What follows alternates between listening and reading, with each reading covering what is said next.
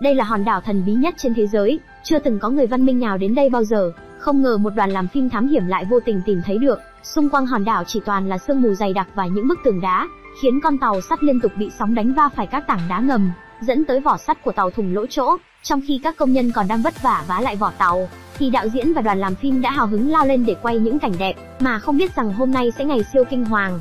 Khoảnh khắc đầu tiên họ bước chân lên hòn đảo cũng là lúc họ toát mồ hôi lạnh, vì nơi toàn là sọ người chất đống khắp nơi, có thể là nạn nhân của một trò hiến tế hoặc ăn thịt người trên hòn đảo. Nhưng khung cảnh quá hùng vĩ nên cả nhóm vẫn tiếp tục tiến vào sâu hơn. Quả nhiên là trên đảo này có một nền văn minh nào đó. Phía trước mặt là vài cái xác người khô và những con cá phơi khô bên cạnh, khiến mọi người bắt đầu cảm thấy lo sợ bồi hồi. Đúng lúc này đạo diễn thấy một cô bé thổ dân đứng cách đó không xa, mà cô bé luôn nhìn ông với ánh mắt chằm chằm giơ tay xua đuổi. Đạo diễn cố gắng thân thiện lấy một thanh sô cô la cho cô bé, không ngờ cô bé lại đột nhiên tấn công vị đạo diễn này, khó khăn lắm mới thoát ra được, thì lại thấy bên cạnh còn nhiều thổ dân hơn, và bất ngờ người bên cạnh cô gái đã bị một mũi giáo xuyên ngực, đó là những thổ dân trên đảo ra đây bắt người, nhanh chóng họ lao đến tấn công, một người đã bị bọn chúng khống chế, rồi cầm chiếc gậy sói đánh chết tại chỗ. Chính vào lúc này cả nhóm cho rằng mình chết chắc rồi, vì bọn chúng đang lôi từng người ra để hạ sát. Đúng vào lúc nguy cấp thì thuyền trưởng đã quay trở lại, kịp thời xuất ra đúng vào giây cuối cùng.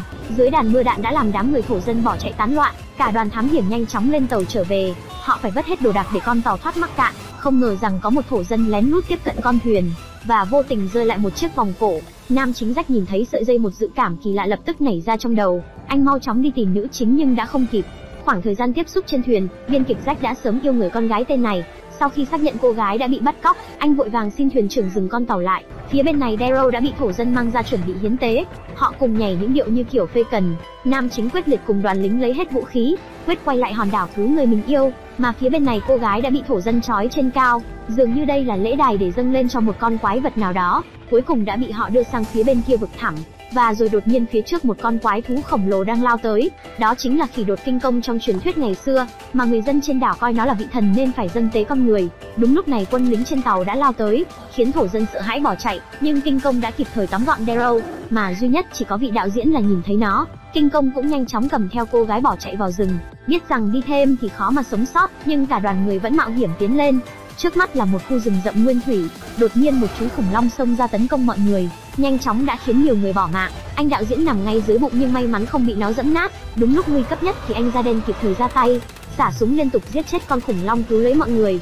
Vừa trải qua cái chết nhưng anh đạo diễn vẫn muốn quay những thước phim lạ nhất. Ở cảnh khác kinh công sung sướng vì bắt được gái đẹp, nó cứ làm cái động tác trông y như là đang sóc cái lọ tương cà, khiến Daryl hét lên sợ hãi. Hơn nữa, phía dưới còn có rất nhiều xác chết cũng đeo vòng cổ như cô. Rất nhanh trí Daryl cầm cái que chọc vào tay khiến Kinh Công phải thả, rồi mau chóng bỏ chạy thục mạng nhưng cũng không thoát khỏi tay nó. Đám người nam chính cũng đã đuổi tới nơi, Kinh Công thấy vậy liền mang theo Daryl bỏ chạy sâu vào trong rừng. Sáng hôm sau mọi người tìm đến nơi, chỉ còn thấy những bộ xương của những người bị hiến tế. Khi nhìn xuống vết chân mà quái vật để lại, biết cơ hội sống sót khi gặp nó gần như bằng không, mọi người muốn quay lại nhưng không thấy đạo diễn, bởi niềm đam mê đã khiến anh vác máy vào bên trong để quay phim rồi. Quả nhiên là một khung cảnh tráng lệ, đó là các loài khủng long đã tuyệt chủng hàng triệu năm trước, rồi đột nhiên thứ gì đó khiến đám khủng long này hoảng loạn. Anh kia đã bỏ chạy mà đạo diễn và cố quay thêm. Mọi người bên này cũng đã thấy mặt đất rung chuyển dữ dội, biết là không hay nên tất cả mọi người bỏ chạy tụt quần. Mà tên đạo diễn lúc này vì mải quay phim nên bị tụt lại, nhiều người trong đoàn không may cũng bị dẫm nát, thì ra là do đám khủng long bạo chúa đang săn mồi. Bọn chúng tuy bé nhưng lại hung dữ, chạy xen kẽ giữa những bước chân này đã khó, mà con giáp tơ lại chỉ trực muốn đớp vào mông. Chạy mãi thì mọi người ra đến bờ vực, do khối lượng quá nặng khiến bờ đá sạt lở rơi xuống. Chả hiểu nổi như này thì sống làm sao, khi một con ngã lăn khiến hàng trăm tấn thịt rơi xuống, rồi những con phía sau cũng vấp phải mà ngã lộn nhào. Dồn lại đúng là phải hàng ngàn tấn thịt chặn đường, mọi người mau chóng leo lên vách đá để tránh lũ khủng long ăn thịt, mà đám kia nó cũng đã trèo tới nơi, lôi tuột ngay đi ông lão quay phim lương thiện, cả nhóm vừa thoát chết ngồi nghỉ bên bờ hồ nước, bốn người trong nhóm đã phải hy sinh, anh chàng Peter sợ chết nên không muốn đi cứu cô gái nữa, cùng mấy người nữa đi chuyển về thuyền. Nhưng anh đạo diễn vẫn muốn tiến lên để quay nốt cảnh phim còn lại, nam chính cũng muốn đi cứu người yêu, nên bây giờ mọi người tách làm hai hướng. Phía bên này kinh công đã đưa Daryl về hang, mà cô gái tranh thủ nó lơ đãng từ từ bỏ trốn khỏi nó. Tiếc rằng chưa được bao xa thì nó chặn đường, kinh công tỏ vẻ ra chuyện đừng có mà bỏ chạy lần nữa, không là tao ăn tươi nuốt sống đó nha. Dường như cô gái cũng hiểu ra chuyện, cô làm ra vẻ đang múa cho nó xem, không ngờ con vợ nhìn thấy lại tỏ vẻ sung sướng. Bây giờ nó đã coi Daryl như một món đồ chơi, nó hết lần này đến lần khác dùng tay đẩy ngã Daryl, rồi cười lên như đùi ươi sóc lọ. Cuối cùng cô gái không chịu nổi nữa đánh nó vào tay, Kinh công dường như bị thái độ bất hợp tác làm nó tức giận, lạnh lùng giận dỗi quay người bỏ đi nơi khác. Nhân lúc này cô gái nhanh chân tháo chạy, phía bên này nam chính và mọi người đã kết bè để bơi qua sông. Không ngờ rằng ở dưới sông rất nhiều thủy quái, toàn những con đầu rết đuôi bọ cạp lao lên tấn công. Ấy thế mà đột nhiên chúng lại tháo chạy, bởi vì có thứ còn đáng sợ hơn đang tiến đến, khiến mọi người vô cùng hoang mang. Quả nhiên dưới lòng hồ đột nhiên có một bóng hình lao đến với tốc độ bàn thờ, khiến con thuyền lập tức bị con quái vật khổng lồ lật đổ. Nam chính đang đeo bình đạn nên bị kéo chìm xuống dưới, mà con quái vật thì đang quay lại. Anh bạn ngoi lên sớm đã bị quái vật hồ lóc lét này đớp luôn. Nam chính phải cố nhịn thở kịp chạy vào đám rễ cây mới tránh được. Những người không may vừa rơi xuống nước, lập tức trở thành mối gỏi tươi sống của quái vật này. Anh đạo diễn rút súng ra bắn trả con thủy quái, khiến chiếc bè tan rã như cục cứt ngâm lâu ngày. Cả đám người tất cả bị rơi xuống nước, mà quái vật há miệng lao tới điên cuồng. Một lần nữa anh đạo diễn xả súng khiến chặn đường kịp thời cho mọi người leo lên, rồi rút luôn máy quay phim ra để quay tiếp. Và cảnh người đàn ông bị ăn thịt khiến ông ta sung sướng vô cùng. Cả nhóm lại tiếp tục cuộc hành trình chết chóc, cuối cùng cũng thấy hang động của kinh công. Anh ra đen liều mình xông tới cửa hang thám thính, thấy tiếng động nên anh căng thẳng xả súng loạn xạ cho mọi người rút về.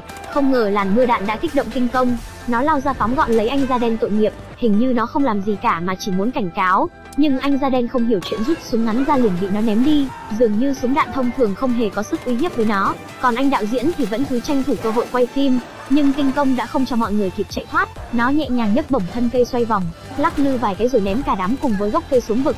May mà đám dây leo và bùn nhão khiến họ tiếp đất an toàn. Nữ chính Daryl nghe thấy tiếng mọi người liền chạy tới, nhưng cảnh tượng trước mắt khiến cô sững người. Một con thằn lằn tắc kè cá sấu khổng lồ đang ăn thịt trước mắt. Tô từ từ lùi bước về sau tránh nó nhận ra, không ngờ đằng sau đã là một đôi mắt đắm đuối.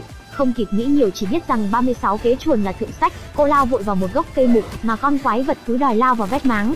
Thế rồi đột nhiên con quái vật bị cái gì đó kéo thụt lại, con còn lại cũng sợ hãi bỏ chạy luôn. Phía bên trong gốc cây mục thì một con rết to tổ bố tiếp cận, khiến nữ chính phải chạy ra ngoài, kết quả phải đối mặt với khủng long bạo chúa. Hắn nhìn thấy cô gái có vẻ thơm ngon hơn, liền đuổi theo trong khi thịt còn ngậm đầy mồm. Nữ chính vì ngon quá đúng là cái tội, tất cả các loài quái vật có chim cũng đều muốn chén.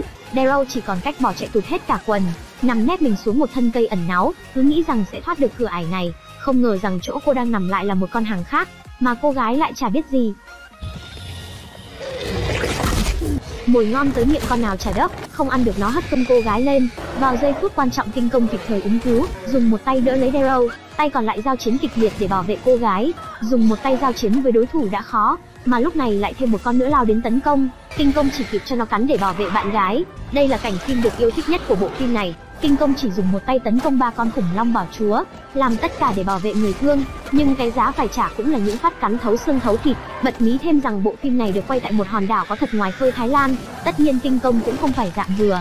Một tay lôi được con khủng long ném xuống bờ vực, ai ngờ con khủng long này sống chết vẫn cắn chặt vào chân của kinh công, kéo tuột cả kinh công rơi xuống dưới. May mà anh khỉ kịp thời bám được vào dây leo, chứ không cũng lên bàn thờ gặp tổ tiên rồi. Phía bên cạnh Daryl rơi vào tình huống khốn nạn, con khủng long cứ lấy đà lao đến đớp cô, từng nhịp từng nhịp nhấp nhô muốn ăn tươi nuốt sống. May mà kinh công kịp thời lao tới giúp Darrow, khiến cô gái rơi xuống mõm một con bên dưới, cú đớp mạnh khiến cả hai rơi xuống đầm lầy. Lại thành ra cô gái rơi vào tình huống nguy hiểm. Đúng lúc nguy cấp thì người anh hùng kinh công xuất hiện, như muốn khẳng định cô gái này chính là của tao, mày tuổi lòi mà đòi ăn của bố. Kinh công lúc này trước mặt người đẹp sức khỏe tăng cao, bẻ mồm khủng long hết sức nhẹ nhàng, giờ tao cho mày đớp cức ở dưới suối vàng luôn nhé. Anh khỉ đột ngẩng mặt lên trời hận đời vô đối, sau lần vào sinh ra tử này, mối quan hệ giữa Daryl và cô gái đã trở nên hết sức hòa hợp, nhưng phía bên này đoàn người của Jack lại không hề may mắn như thế, nhiều người đã phải hy sinh khi rơi phải đá cuội, còn cuộn phim tâm huyết của anh đạo diễn cũng vỡ tan tành. Vài người còn sống nghĩ rằng gặp đại nạn không chết là phúc, nhưng những con quái vật dưới này khiến mọi người nghĩ rằng thà chết còn hơn. Nó giống như những con giun thích ăn thịt người, cùng những con dế điên cuồng lao lên tấn công. Một người đã nhanh chóng chóng bỏ mạng bởi con gì đó, người chú đẹp trai cũng bị đám giun nuốt gọn cái đầu. Đúng lúc nhóm người rơi vào hố sâu tuyệt vọng, cậu thanh niên trẻ tìm được khẩu súng xà đạn cứu ba người, nhưng phía trước lại là đám yêu tinh nhện tiến tới. Đột nhiên những tiếng súng mang lại hy vọng cho mọi người. Anh chàng nhát chết lúc trước đã quay trở lại và lợi hại gấp đôi, kịp thời cứu thoát ba người vào giây phút nguy hiểm. Phía bên này kinh công cũng đã đưa cô nàng về hang, Daryl chân thành cảm ơn vì đã cứu mạng. Kinh công bây giờ như đã thay đổi hoàn toàn, yêu chiều nữ chính hơn cả người yêu. Nhóm người sau quá nhiều tình huống thoát chết, mọi người quyết định rút lui hết cả. Chỉ còn một mình nam chính Jack cương quyết xông lên cứu lấy Daryl. Và lúc này đạo diễn cũng có một suy nghĩ vô cùng táo bạo, nếu Jack thực sự có thể cứu được cô gái, thì chắc chắn kinh công sẽ đuổi theo ra, lúc đó họ chỉ cần lắp một cái bẫy là có thể bắt được nó rồi. Nó sẽ trở thành một chiến tích kinh điển, từ đó sẽ bán vé tham quan thu hàng đống tiền, có lẽ số tiền kiếm được sẽ không thể nào kể xiết. Sau khi nghe những lời cám dỗ của đồng tiền, không một ai lại có thể từ chối. Đến khi trời tối thì rách đã tiến đến gần chỗ kinh công, tranh thủ lúc nó ngủ say thì đánh thức nữ chính dậy, ấy thế mà kinh công vẫn tỉnh dậy kịp thời. Rất may lúc này có đám rơi khổng lồ lao ra cắn anh khỉ đột, khiến hai người có cơ hội chạy thoát, nhưng chưa tuồn rơi xuống thì một con rơi đã cắp hai người bay đi. Rất may nam chính và cô bạn kịp thời rơi xuống nước, rất nhanh rách đã cứu được Daryl ra tới cái cầu, đạo diễn chưa muốn hạ cầu vì chờ cho kinh công tới. Đến lúc nghe thấy tiếng kinh công thì mới hạ cầu. Quả nhiên kinh công sôi máu một cú nhảy qua luôn bờ vực. Thế là dính vào cái bẫy mà thuyền trưởng cùng đạo diễn sắp xếp. Kinh công bị mọi người khống chế và ném thuốc mê. Nhìn cảnh kinh công yêu quý lâm nguy khiến cô gái tức giận ngăn cản. Kinh công thấy vậy như được tiếp thêm sức mạnh vùng lên. Phá vỡ sự khống chế của con người. Bắt đầu tấn công mãnh liệt khiến mọi người mau chóng bỏ chạy lên thuyền rời bến. Kinh công tức tốc đuổi theo ném vỡ một con thuyền. Cho đến khi nhìn thấy bóng dáng của Daryl thì động tác của kinh công mới từ từ chậm lại. Nhân cơ hội này, đạo diễn tranh thủ đánh lén kinh công, ném thẳng thuốc mê vào khuôn mặt khả ái. Lượng thuốc mê quá lớn khiến kinh công đổ gục, chỉ kịp giơ bàn tay như muốn xin lỗi nữ chính của chúng ta. Quả nhiên con người còn độc ác hơn cả quái vật, mà tên đạo diễn đã thực sự đưa kinh công lên sàn diễn. Người đến tham quan mỗi ngày đều lường lượp không ngớt, nhanh chóng đã kiếm được số tiền khổng lồ. Mà kinh công thì ngày càng buồn giàu nhiều hơn, ánh mắt như vô hồn nhìn xuống những con người đang cười đùa thích thú nó dường như mất đi ý chí muốn tự do của mình. Đạo diễn muốn tăng thêm phấn khích thì đưa một cô gái lên. Nhìn dáng của cô gái thật giống người mà kinh công yêu quý. Nhưng khoảnh khắc mà cô gái ngẩng mặt lên đã khiến kinh công tức giận. Đây có phải người tao yêu méo đâu? Kinh công lên cơn điên phá bỏ xiềng xích. Mọi người bắt đầu hoảng sợ bỏ chạy tụt hết quần xì. Kinh công thoát khỏi chạy ra ngoài phố phường lạ lẫm. Chỉ có thể phá phách để giải tỏa tinh thần đang rất bất an. Nó bắt từng người lên xem mặt để tìm bạn gái cho đến khi nhìn thấy rách là người đã đưa Darrow đi kinh công lập tức đuổi theo như đó là hy vọng cuối, khiến thành phố trong phút chốc đã rơi vào hỗn loạn. Chính vào lúc này kinh công dường như ngửi được mùi gì đó, một bóng dáng và mùi hương của da thịt cô gái thơm không thể chịu được. Khoảnh khắc này dường như đã làm tan chảy mọi con chim yếu mềm. Người đàn ông cứng rắn nhất cũng không thể nào chịu được. Kinh công lập tức đưa bạn gái vào công viên chơi đùa. Nó say sưa vui sướng như một đứa trẻ đi chơi công viên. Khung cảnh đang yên bình thì cảnh sát tiến đến tập kích. Kinh công vội bỏ chạy đưa Darrow chạy trên nóc các tòa nhà rồi cứ thế đưa nàng lên đỉnh. Đây là nơi mà nó nghĩ là sẽ an toàn cho cô. Nhưng loài người thì không nghĩ như vậy. Nhanh chóng sáu chiếc phi cơ lao đến tấn công. Điên cuồng xả đạn khiến kinh công đau đớn. Khi được trèo lên đỉnh tháp, vỗ ngực chứng tỏ sự kiêu hãnh vốn có của kẻ thống lĩnh rừng xanh. Cho dù có phải chết cũng không bao giờ khuất phục. Nó lấy hết thân mình để che chắn đạn cho người nó thương. Để rồi cuối cùng nó cũng không thể chịu nổi nữa. Chỉ có thể nhìn Darrow bám trên tay mình bật khóc nức nở. Rồi kinh công từ từ thả cánh tay ra. Thả mình rơi xuống như chút tự do cuối cùng vì Daryl King Kong có thể làm tất cả, thậm chí để tất cả con người hủy diệt đi bản thân mình. Tình yêu của nó thực sự rất đơn thuần và trong sáng. Đó là thứ mà con người cần phải học theo. Nếu các bạn muốn thì mình tiếp tục review phần 2 nhé. Cảm ơn các bạn rất nhiều. Bye bye.